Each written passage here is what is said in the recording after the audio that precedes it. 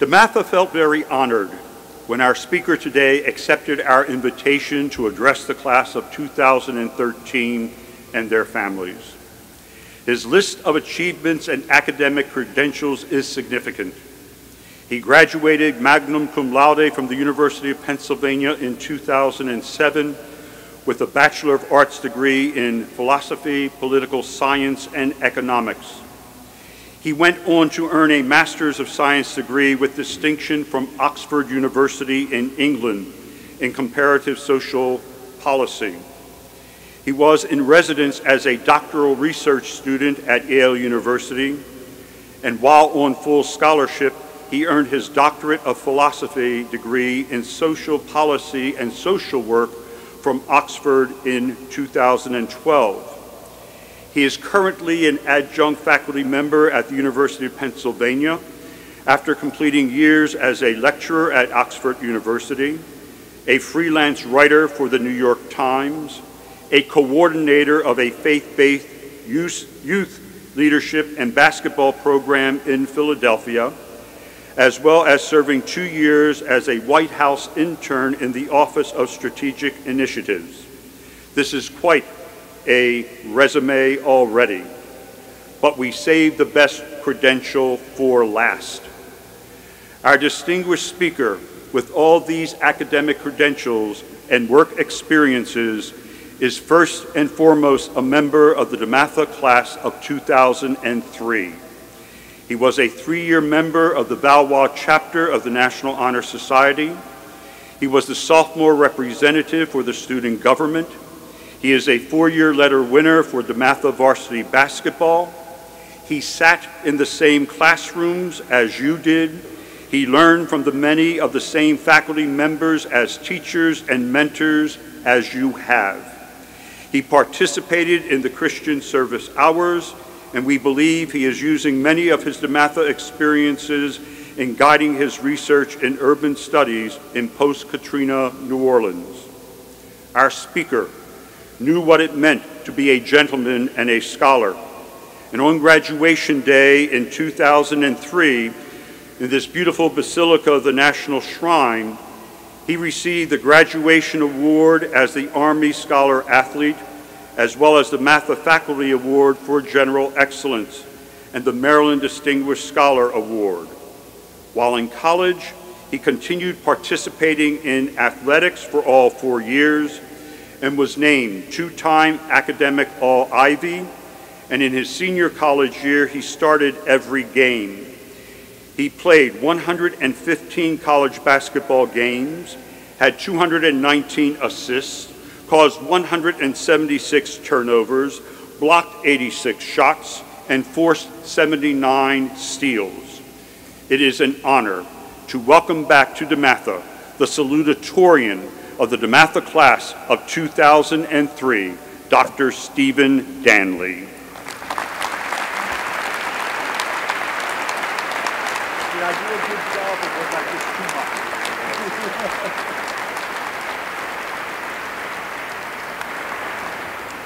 Thank you very much for that kind introduction, Father.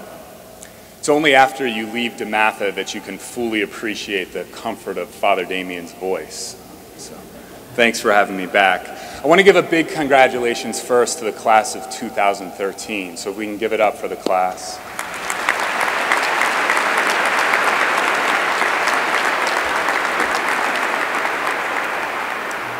I want to give an even bigger congratulations to your parents. You made it.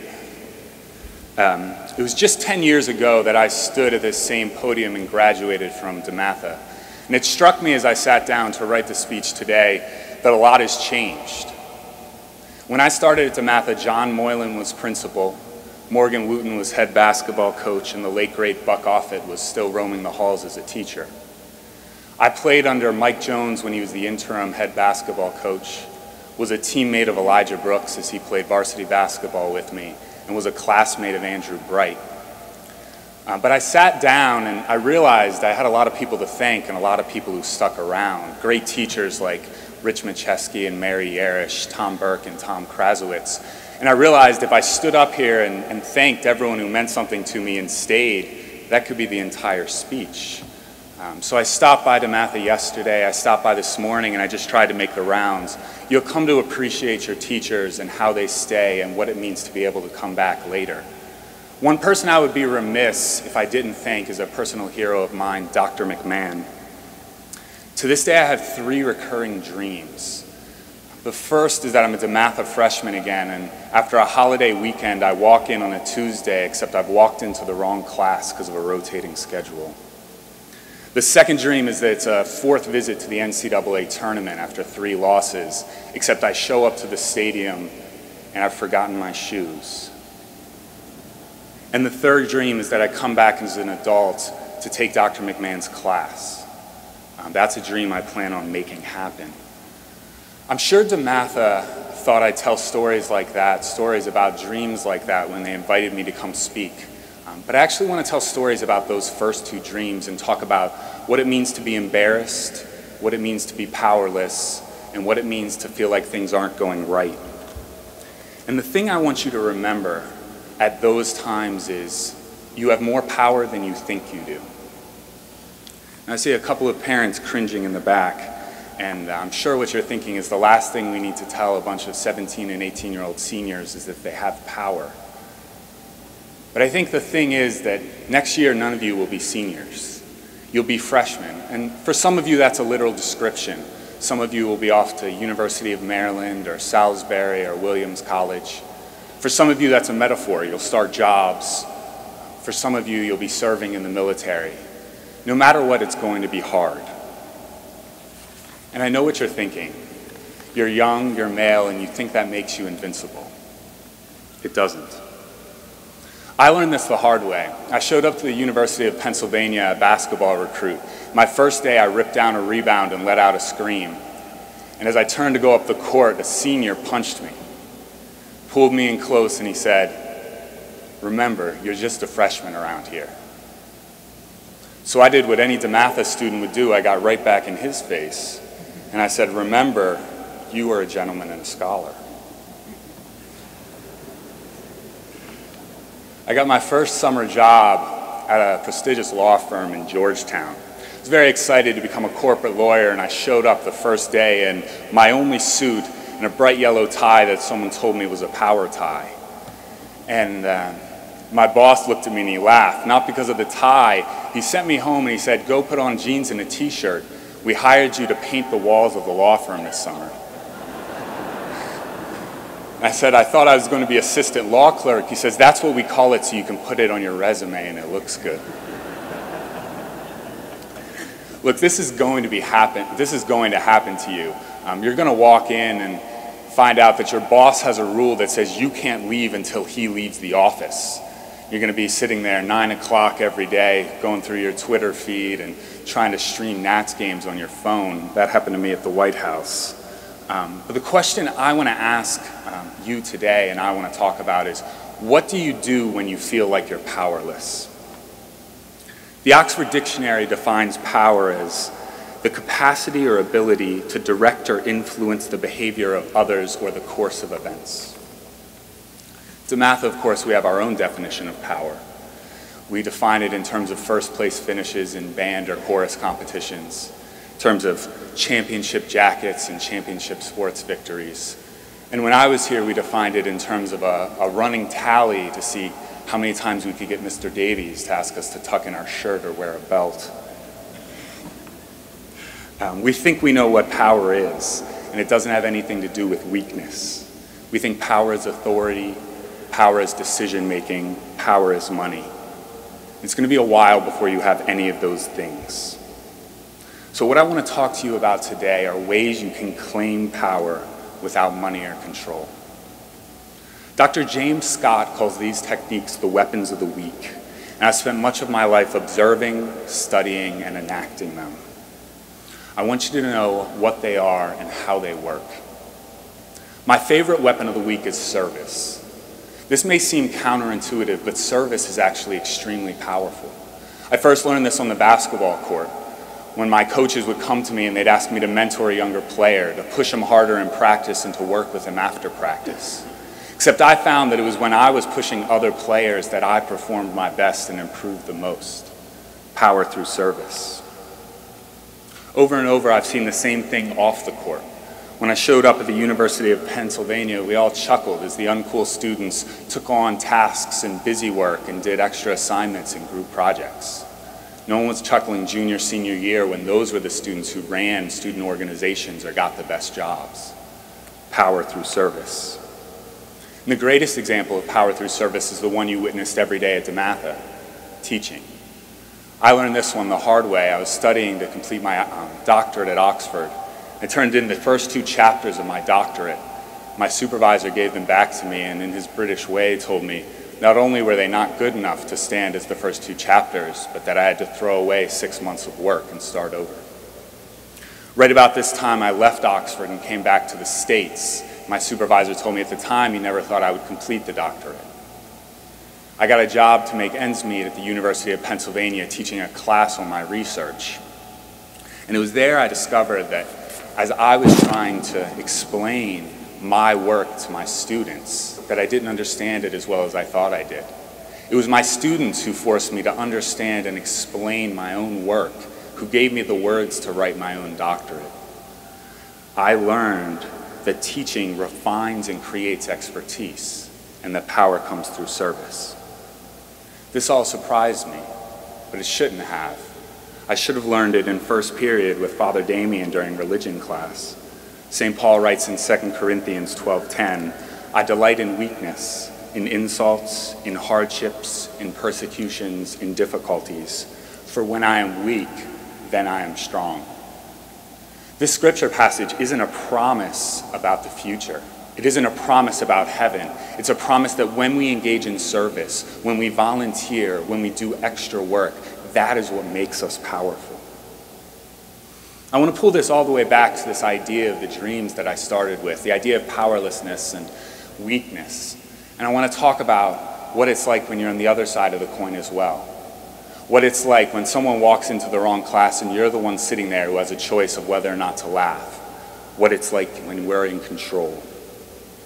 I want to ask, what do we do with power once we have it?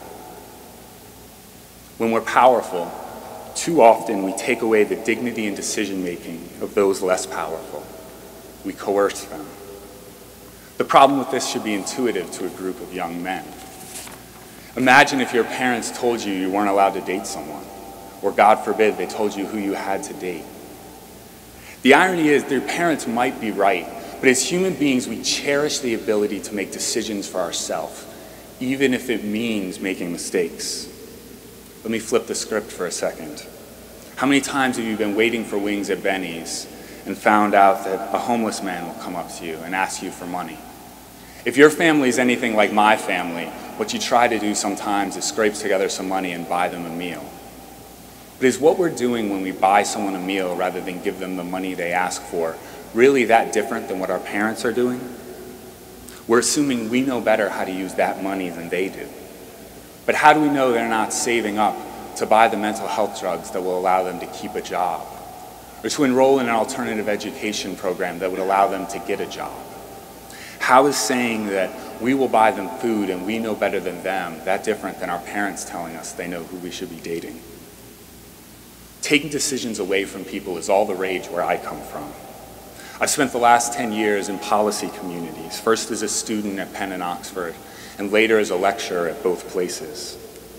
These communities are full of assumptions about the privilege that comes with money and power. At Oxford, there's a club full of princes and royalty and rich. And the only requirement to get in this club is you have to be able to go out in a given night and spend $15,000. What they do is they walk into a bar they tear the hangings off the wall. They break the wall stools, the, the bar stools, and they shatter the glasses of, or the bottles of liquor. And then they, on the way out, they leave a check for $15,000 to pay for the damages. My degree program at Oxford was chock full of Rhodes Scholars and others, including one guy who famously carved O'Shea for President 2024 into his desk. Yes, he was voting for himself for president 16 years early. He's just one of uh, two. He's just one of a number of people who have been elected to public office among my friends, and there's a whole bunch of them getting in line to do it next. And What unifies many of these future policymakers is their belief that they should make decisions for other people. This is what passes for enlightened policy these days. The solution to obesity is restricting how much soda we can buy. After the recession, we gave tremendous amounts of aid to hard luck families in the, for in the form of food stamps. But if those families needed to use aid to pay for rent, they had to go break the law and sell those food stamps. We're telling people how to make their decisions, and we're not doing it that well. A whole economic discipline, behavioral economics, rests on the idea that you can make subtle changes to influence people's behaviors, and the idea that policymakers know how to influence behaviors and what they should do. And the educational debate du jour is over the National Common Core of Standards, an idea that will tell teachers what to teach and students what to learn. Too often, my friends believe they have a right to make decisions for others. They believe that right is derived from their intelligence, but it really comes from their power. You or I would never accept someone coming up to us in the grocery store and telling us we had to buy something because they were smarter than us. And we sure wouldn't accept someone coming up to us in the grocery store and telling us we had to buy something because they had more power than us. There are going to be times when you have that power. You are DeMatha graduates, after all. And I hope you think deeply and seriously about whether it is a good idea to use that power to take decisions away from other people. As you graduate and move on to the next big thing, I hope you aren't seduced by power into thinking you should make decisions for others. I hope you use your abilities to empower other people, not take their dignity and not take their decisions. If your class is anything like mine, the DeMatha community is going to be exceptionally proud of your accomplishments. So class of 2013, congratulations and best of luck. I pray you use your power wisely.